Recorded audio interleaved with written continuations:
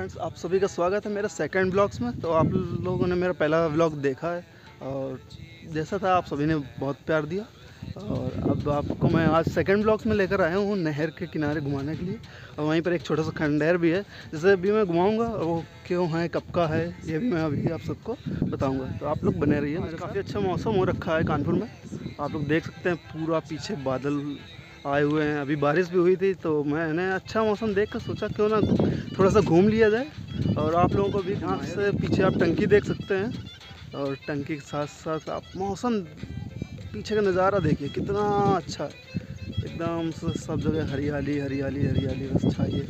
और अभी हम जहाँ पर आए हैं वहीं पर ये देखिए पीछे मेरे जो दिख रहा है आपको खंडेर दिख रहा है।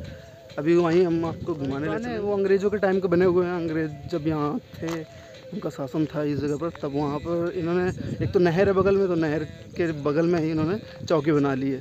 तो उसी चौकी का ये हिस्सा बचा है, जो खंडहर के तरीके पड़ा हुआ है बचने के लिए। आगे यहाँ ये अभी छोटा सा खंडहर है, पता नहीं क्या था उस टाइम पर क्योंकि मैं तो था नहीं उस समय। होता तो मैं आपको ज़रूर बताता कि ये क्या था वैसे यहाँ पर, बस कुछ ही पोल्स खड़े हैं और छत पड़ी है तो पानी से बचने के लिए मेरे लिए काफ़ी है। आप देख सकते हैं, पीछे बारिश हो रही है। और अभी ज़्यादा तेज़ नहीं, पर हाँ मैं भीग जाऊँगा, अगर वहाँ तक जाऊँगा तो अभी मैं थोड़ी देर में जैसे ही बारिश बंद होती, आपको ले चलूँगा उस वाले खंडहर तब तक आप लोग देख बने रहिए मेरे साथ, चलते हैं खंडहर देख। ऐसी ज़िंदगी हम छिप छिपाए। हम आए हम ऐसी जी ऐसी जी हम न पाए। ऐसी ज़िंदगी हम छिप छिपाए ये देखिए दोस्तों, यहाँ की नहर है। इसे पनकी नहर के नाम से जानते हैं, पर इधर ये बारह सुरई पड़ जाता है तो इसे बारह सुरई नहर भी बोलते हैं। वो जो आपको सामने बिल्डिंग्स देख रहे हैं, वो आईटी कानपुर की बिल्डिंग था। और अभी हम लोग चलते हैं खंडहर की तरफ़। ये बहुत पुराना पेड़ है। शायद मेरी पैदा होने से ज़्यादा पुराना।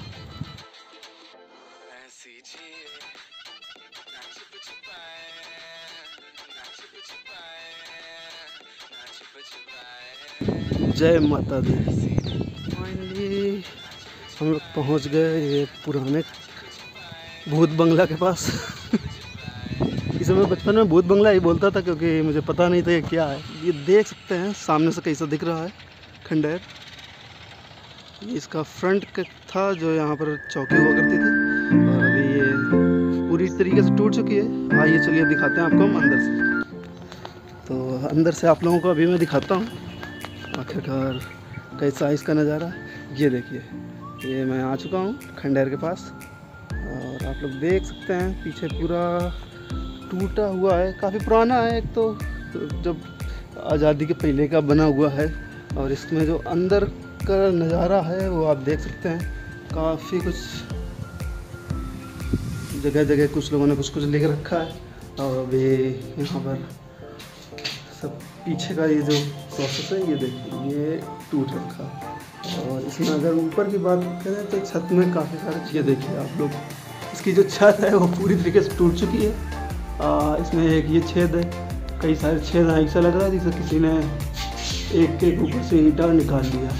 और ऊपर से काफ़ी कभी भी गिर सकता था यहाँ आना सेफ़ नहीं है उतना। और कम ही लोग आते हैं मैं तो आप लोगों को ये वीडियो दिखाने आ गया हूँ। नहीं तो इतना सेफ़ बिल्कुल भी नहीं है क्योंकि यहाँ कोई जल्दी आता भी नहीं है और इतना सुरक्षित भी नहीं है। तो बाकी आपको मैं दूसरा गेट दिखाता हूँ। ये देख सकते हैं आप, इसका जो अंदर का पोर्शन है, ये दिखाते हैं। अंदर इसके ज़्यादा कुछ नहीं है, ये लीजिए। अब देख देखिए, अंदर जो इन्होंने, अंदर का ये रहा, पूरा टूट चुका है। ऊपर भी देखिए, छत सब गायब हो चुकी है, कुछ नहीं बाकी रह गया है। और ये हमारे पेड़ महाराज इन्होंने पूरा कब्जा कर लिया, अभी कहते नहीं। अंग्रेज़ चले गए, अब मेरा कब्जा है। तो ये काफ़ी पावरफुल है। और वो देखिए, एक छोटा सा कबूतर बैठा। शायद आप लोगों को दिख जाए। लीजिए, उड़ गया। नहीं दिखेगा आपको। कह रहा, मैं नहीं आऊँगा कैमरे में। तुम बदमाशी कर रहे हो। तो अभी हम चलते हैं। ये देख- देखिए देखिए देखिए देखिए। आहा। तो ये रहा इसके, इसी प्रकार से सारे ब्लॉक्स इसके बने हुए हैं और इसमें भी छत पूरी, छत वगैरह टूट रखी है। इसकी भी छत गायब हो गई है। तो सब नीचे आकर गिर गई है, टूट चुकी है। तो पूरा जर्जर है, यहाँ आना बहुत ही डेंजर है। कभी भी कोई भी ईंट गिर सकती है। अब दिखा, चलिए अब ले चलते हैं हम आपको पुराना कुआँ दिखाना। है तो ये देख लीजिए आप लोग, ये रहा आपका पुराना कुआँ। ये बहुत पुराना कुआँ है, शायद इस इलाके का सबसे पुराना कुआँ है। और यहाँ पर आज भी लोग, जो मतलब कि शादियों में कुआँ वगैरह किया जाता है, वो इधर आते रहते हैं। और आपका ये देखिए, कुआँ पर काफ़ी कुछ है।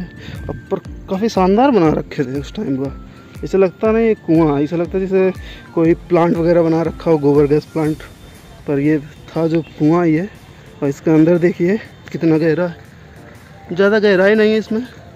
तो अगर कोई गिर जाता है तो उसे ज़्यादा नहीं, पर हाँ ठीक, अच्छी खासी चोट लग सकती है। फ्रेंड्स आपको कैसा लगा ये सब देखकर? आप लोग कमेंट्स कर सकते हैं। और कमेंट में बताइए कि कैसा रहा मेरा ब्लॉग क्योंकि ये मेरा सेकंड ब्लॉग है तो मैं अभी नया हूँ। अगर कुछ गलती हो गई हो तो माफ़ करना। और आप जो पीछे का नज़ारा मेरे देख रहे होंगे, वो है आईआईटी कानपुर। और वो अभी भी मैं आईआईटी कानपुर और इधर जो पड़ता है, मकसूदाबाद के बीच में खड़ा हूँ। ये पनकी नहर के आस पर ही हूँ, जो मेरे पीछे आप देख सकते हैं, नहर है। और इस पनकी नहर पर एक पावर प्लांट भी है। अभी पावर प्लांट बन रहा है। कभी मौका मिला तो वो भी मैं आपको घुमाऊँगा वीडियोज़ में, क्योंकि मेरा काम ही है कानपुर आपको विज़िट कराना। और इसी के साथ थैंक यू और अगर मेरी वीडियो अच्छी लगी हो तो आप मेरे चैनल को सब्सक्राइब कर दीजिएगा लाइक कर दीजिएगा और कमेंट कर दीजिएगा। Thank you